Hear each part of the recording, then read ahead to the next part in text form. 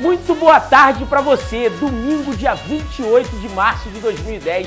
Mais um mês que foi pro espaço. Bateu asa, meu camarada. E para você não ficar voando sem rumo por aí, está no ar o Fuzueira TV, a revista eletrônica que te deixa em dia, informado com o que rola de melhor no Rio de Janeiro. Agora chega de papo, chega de enrolação e vamos para a primeira matéria gravada lá na Apoteose Rio Axé 2010. Lourinha tava lá, mostra aí pra galera. Hoje o Fuzueira TV veio aqui na Apoteose curtir a micareta Rio Axé. Fuzueira TV, vem ver. Pela primeira vez com o trio elétrico em movimento, o Rio Axé levou uma multidão para Apoteose.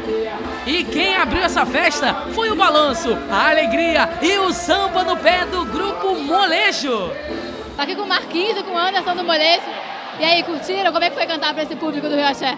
Pô, vou te confessar, nossa primeira micareta com a formação nova e experiência nota mil, que a gente é micareteiro nato, né? Vamos ficar pra curtir, curtem a Cláudia Leite.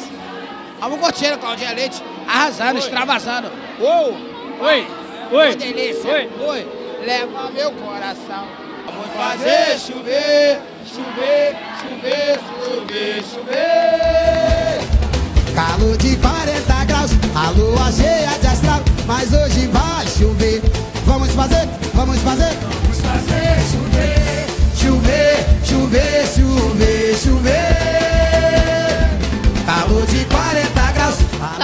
Já tá se preparando e a gente tá aqui na expectativa pra ela subir no trio do Rio Axé. A atração principal ficou a cargo de ninguém menos que Cláudia Leite. Extravasando o Brasil afora e quebrando fronteiras internacionais, Cláudia Leite, sem sombra de dúvidas, consagra-se como intérprete da música popular brasileira. Trouxe umas amigas de São Paulo que estão curtindo aqui, sou fã, adoro. Sim, aproveitei as minhas férias para vir para esse evento maravilhoso e é a primeira vez de muitas porque eu vou voltar. E portanto vim aqui para fazer o melhor show da minha vida. Boa noite. A cantora começou sua carreira no Babado Novo em 2001, onde permaneceu durante sete anos até partir para a carreira solo.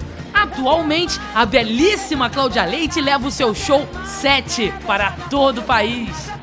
O público do Rio Axé conferiu de perto a energia e a alegria da loira, que não deixou ninguém parado com os seus sucessos.